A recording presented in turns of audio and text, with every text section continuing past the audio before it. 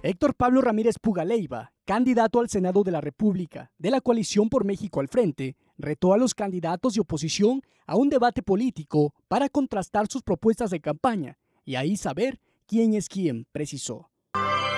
A los debates del que, les hablaba que ocurrirá el fin de semana que viene, he también hecho un exhorto, un llamado al Instituto Nacional Electoral, al Instituto Local Electoral, a los candidatos eh, de las demás coaliciones a que vayamos a debatir, exponer ideas, a que le enseñemos a la sociedad oaxaqueña quién es quién en esta campaña y que podamos contrastar eh, posibilidades, resultados, propuestas y que encaremos de cara a la sociedad de un debate abierto, público, masivamente difundido, eh, quién es quién.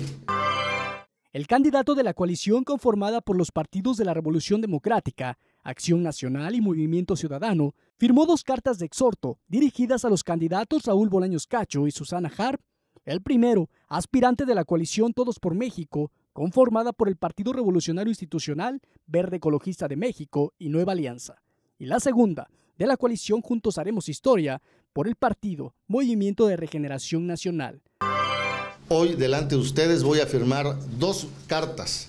A pesar de que ya se entregó una a los órganos electorales, hoy voy a firmar eh, delante de ustedes dos cartas en las que estamos proponiéndoles, son dos cartas dirigidas, una a Susana Harp, candidata propietaria al Senado de la República por la coalición Juntos Hagamos Historia, y al candidato Raúl Bolaños Cacho fue candidato propietario del Senado de la República por la coalición Todos por México.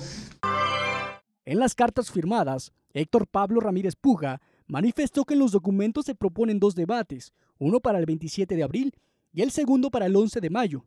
Estas invitaciones, dijo, serán entregadas ante el Instituto Nacional Electoral para oficializar la propuesta. A través de estos documentos eh, el día que estamos nosotros también proponiendo para la eh, celebración de estos debates, que sería el próximo viernes 27 de abril, y un segundo debate el viernes 11 de mayo del año en curso. Estamos girándole copias también a los órganos electorales. Voy a firmar estas cartas que serán entregadas hoy mismo a los candidatos, candidatas y candidatos de las demás coaliciones. Entre otros temas, el candidato condenó los actos violentos que se propiciaron en Puerto Escondido ante la visita de José Antonio Mit Curibreña, candidato priista a la presidencia de la República. Todos los partidos y los candidatos a que no haya violencia. No, condenamos esta violencia, venga de donde venga, porque no solamente fue la incitación, sino la respuesta que hubo.